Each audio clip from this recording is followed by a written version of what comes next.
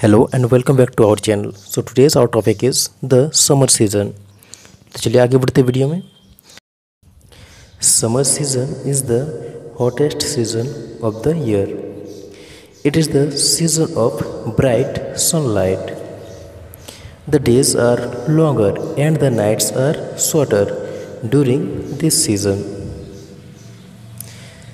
the summer season starts in march and ends in July. We wear cotton clothes in this season. For children, it is the season of vacation, picnic, and fun.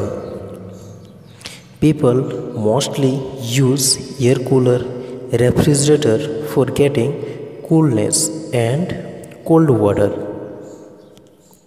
This season provides various types of fruits and vegetables. People like to visit cold place and hill station.